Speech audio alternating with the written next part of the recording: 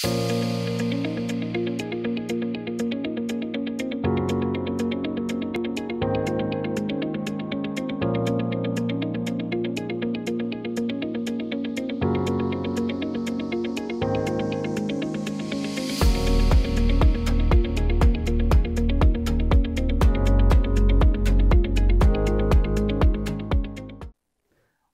Today we are going to talk about uh, digital current mode control using constant on time modulation. And from this lecture is slightly different from the previous lecture because uh, till the previous lecture we talked about fixed frequency control. Now we are going to talk about variable frequency control. In the last week we have learned uh, different architecture like constant on time digital current mode control, mixed signal current mode control. Then we have also learned constant off time mixed signal current mode control. So, we are extending that our architecture what we have learned in the last week. We want to develop MATLAB simulation model and we want to consider few case studies. So, first if you talk about mixed signal constant uh, current mode con constant on time control. So, this process is same, but the way of sampling is different that means here we will be using event based sampling and that we have discussed that means we will be talking about event based sampling not uniform sampling because it will lead to instability. And then we need to consider that means if we consider the analog because in the you know in that architecture we have discussed the monoshot timer is used for constant on time modulation. In addition to that we need to consider a minimum off time because for practical realization this is something mandatory for any commercial product that we use and here the current loop is in analog that means we need a D to A converter.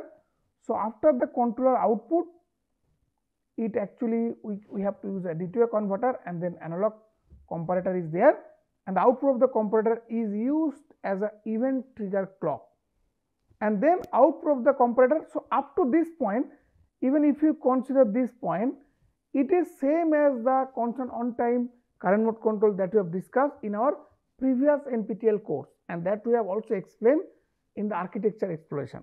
So, this part if you consider any analog that means you know if you consider any analog uh, you know constant on time current mode control that we have discussed it is the same it is the common common for this block is common. But only this digital block A to D converter and the DAC these are the new thing and that also requires sampling. So, that means first analog to digital converter and we have discussed that we have to use a event trigger ADC and this event signal we need that means we need an event clock to sample this ADC because it has to be sampled non-uniformly. So, that means we will use first an event trigger A to D converter to sample the output voltage. So, this is a sample output voltage you have to use a sample output voltage. Then after that sample output voltage will be compared with the reference voltage then will generate the error, error voltage. Then this error voltage will go to next compensator the controller it can be P, PI, PID but since it is a current mode control we are typically consider the PI controller. So, now in this PI controller again we have to realize using and this block is exactly same as whatever we, we have discussed for previous two classes. For full digital as well as mixed signal as well as voltage mode control we have used using difference equation right? Difference equations. And difference equation with clock synchronism. With clock synchronism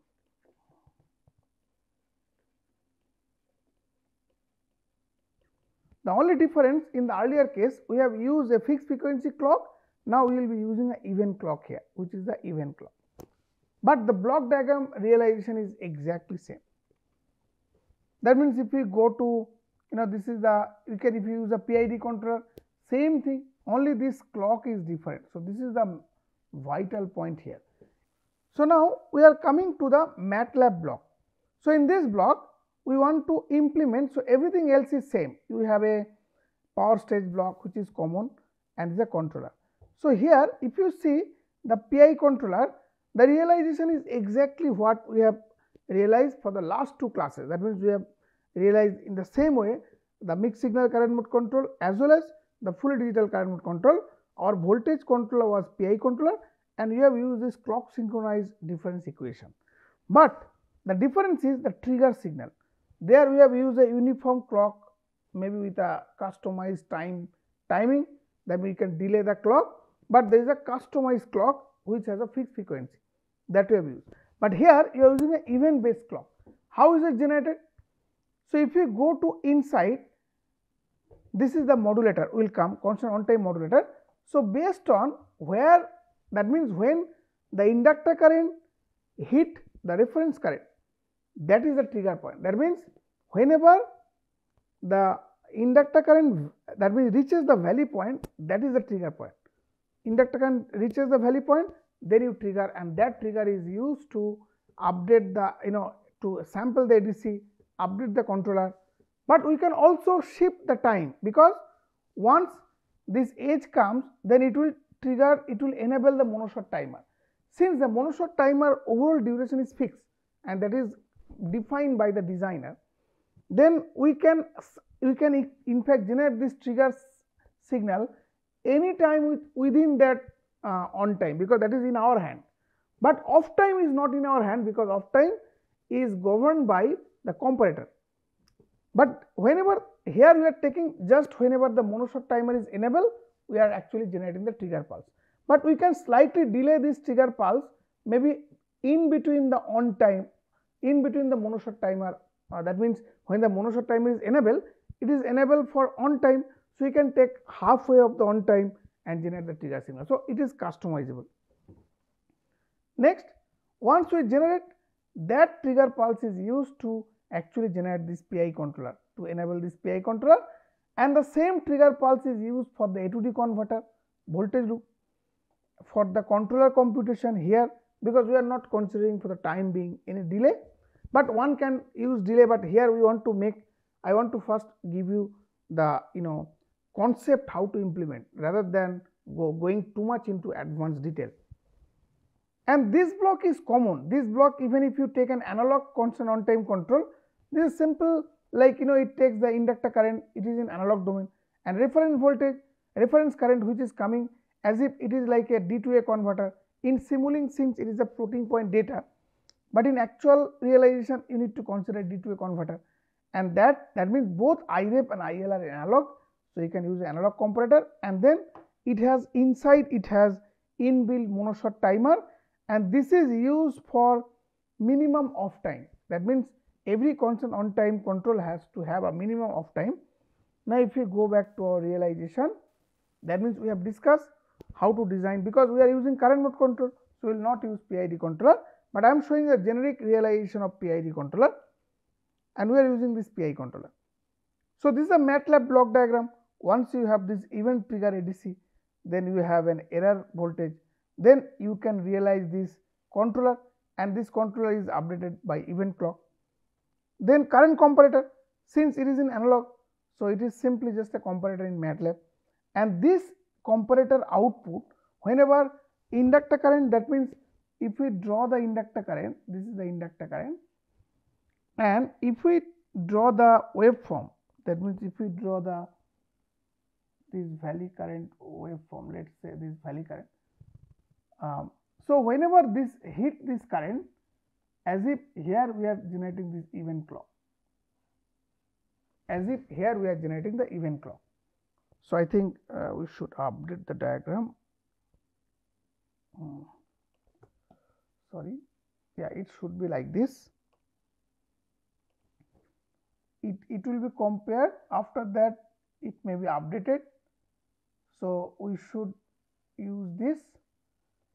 And if there is any change let us say so this is just a valley point. And whenever it touches the valley point we are we are presently taking here as the edge clock edge. But since the on time is fixed this is the total on time it is fixed you can in fact generate clock here no issue because this is in our hand. So, that means we can customize this clock and ultimately that clock will be used for your controller computation and as well as the ADC conversion. Okay. So, the MATLAB realization that comparator then it goes to the monoshot timer. So, that means after the comparator output it goes to the monoshot timer. And monoshot timer actually it will be loaded with the on time. And it needs to have a minimum off time. That means, this is the minimum off time realization and this we have discussed you know this implementation in a in a, our last week architecture exploration. So, here in MATLAB we are going to implement this. That means this is a subsystem and we are going to complete MATLAB implementation we are going to do. That means, first thing our power stage, then we have a event trigger ADC, then we have an event trigger controller, then we have this regular the comparator analog current comparator, this is the analog current comparator, current comparator I would say it is a voltage comparator, but sense current. Then output of the comparator goes to this is our constant on time, constant on time modulator, which consists of the monostable monoshot timer as well as a minimum off time. So, this is the total complete MATLAB block diagram of the constant on time mixed signal current mode control. Here, if we go inside this block that means I am talking about if you go inside this block first is the event trigger A to D converter. So, this is the ADC for voltage sampling.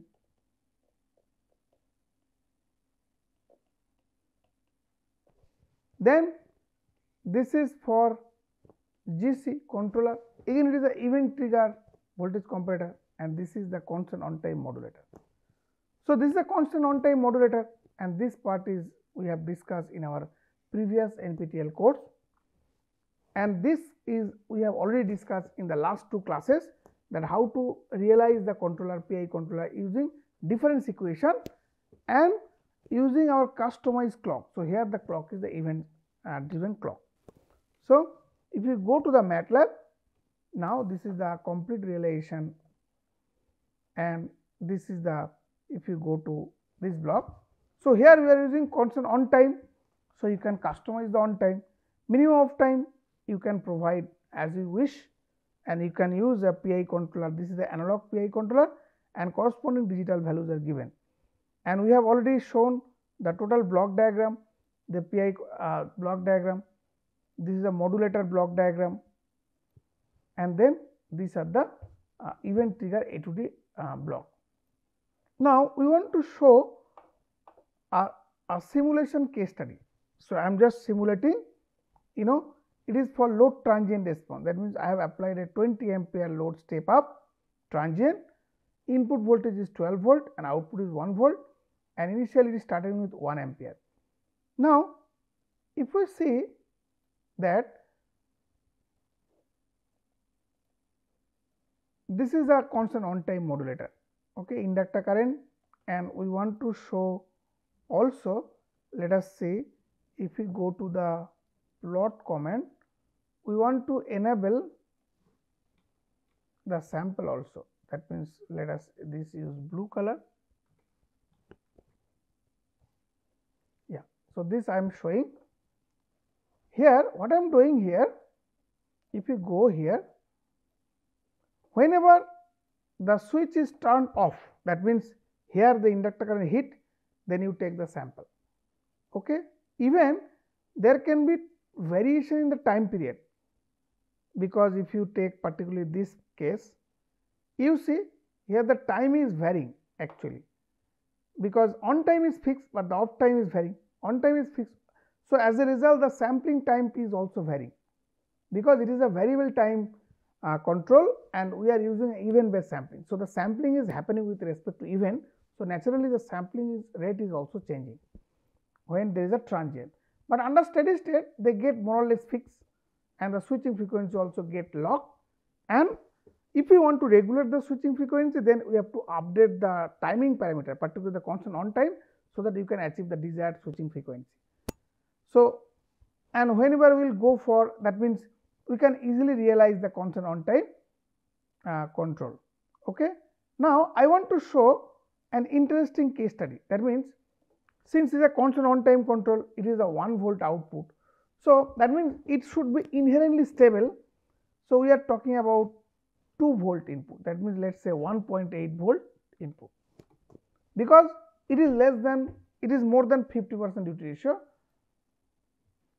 Okay. But in fact, constant on time means the valley current mode control. So, valley current mode control in fixed frequency it is unstable for duty ratio less than 0.5.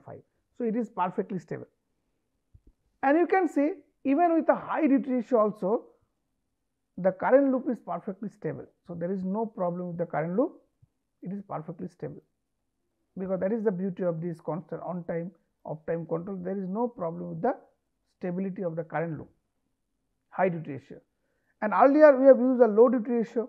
So, if you con consider low duty ratio so that means for wide duty ratio range this is perfectly stable there is no problem. Okay. So, here I am just showing uh, very high and very low duty ratio. So, you can use for yeah so perfectly stable. So, let us go back to our so that means in summary we have discussed custom MATLAB model development for constant on time mixed signal current mode control and we have also discussed few simulation case studies. So, we will be considering constant off time mixed signal current mode control in the next lecture. So, that is it for today. Thank you very much.